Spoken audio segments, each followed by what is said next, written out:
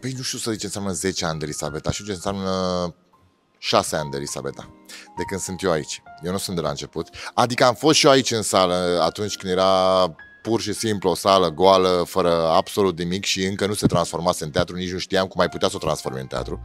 Și uite ce frumos arată, e senzație.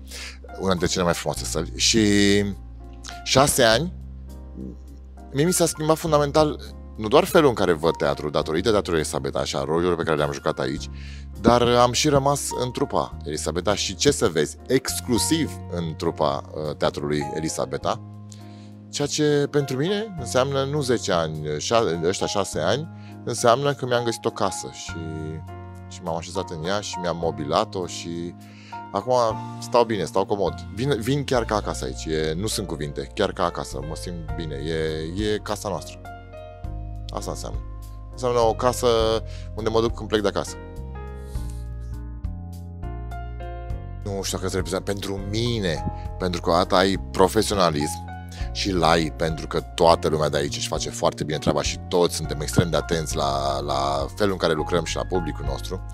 Aș spune și distracție, pentru că noi râdem foarte mult la repetiții uh, și cel mai important pe care eu îl văd și îl simt aici, între noi, iubire. Profesionalism, distracție și iubire. Astea sunt pentru mine coordonatele noastre, ale cele trei prin care ne învârtim și când ne certăm, noi ne certăm cu draca, să știți. Uh, a, gata, gata, gata, știu, știu, știu, știu. Premiera Puricere.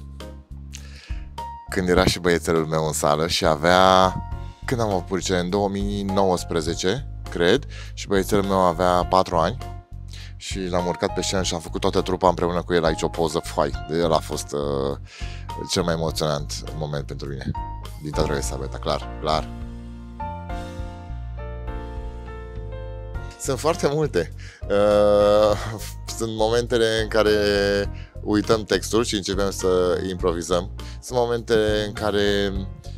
Uite momentul din Boeing când uh, eu trebuie să-mi ascund iubitele uh, în baie și pentru asta ușa de la baie trebuie să stea închisă și glanța ușii de la baie s-a rupt, astfel încât ușa nu mai stătea închisă și nu mai avea unde să le ascund și uh, Lucian n-a avut ce să mai facă și mi-a zis doar, păi, cred că te-au prins și s-a cam terminat piesa.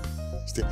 Da, mă rog, a venit, a venit un coleg care a ținut ușa, a stat în spate Mihnea cu sprijinit de ușă, el știa că trebuie să dea la o parte, a fost o nebunie întreagă. Sunt foarte multe momentele astea în care ni se întâmplă sau vine îngerul și iar ne distrăm, pentru că stăm așa uh, și găsim lucruri noi la spectacolele pe care le-am făcut și râdem pentru că descoperim după 10 ani niște chestii foarte tari. Altfel, așa, momente comice sunt multe, dar trebuie să fii în context ca să le știi. Și pe scenă, în general, sunt așa, în afară... Nu suntem noi foarte comici, suntem artiști, ziua vesel, noaptea la muncă. Teatru, dragă teatru. Întâi o mulțumire, că îți mulțumesc că ești, pentru că aici nu doar... Băi, eu am ajuns unul dintre bătrânii teatrului. Asta e chestia, deci eu sunt printre bătrâni, sunt la bătrânii teatrului acum, nu vine să cred, că aveam 22 de ani când am intrat în teatru din Ploiești, teatru Toma Caragiu, și mi-era rușine de actorii care aveau vârsta mea de acum și nu știam cum să le vorbesc și mi-au zis, tu ai terminat actorie? Da. Ai și diplomă? Da. Atunci închide mai bine ușa aia.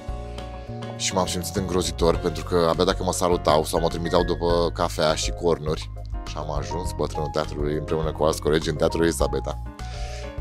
Și uh, trebuie să recunoști că noi cu voi suntem diferiți, noi suntem foarte apropiați și îi doresc teatrul Elisabeta să rămână așa, plin de iubire și ăștia 10 ani să fie 1% din existența lui.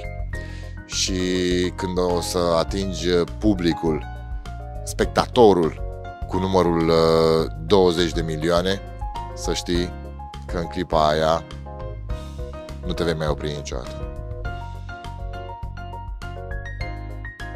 Publicul, ce să-i urez eu? Să-i urez să vină aici, să-i urez să fie fericit cu ce facem noi, pentru că doar pentru el facem.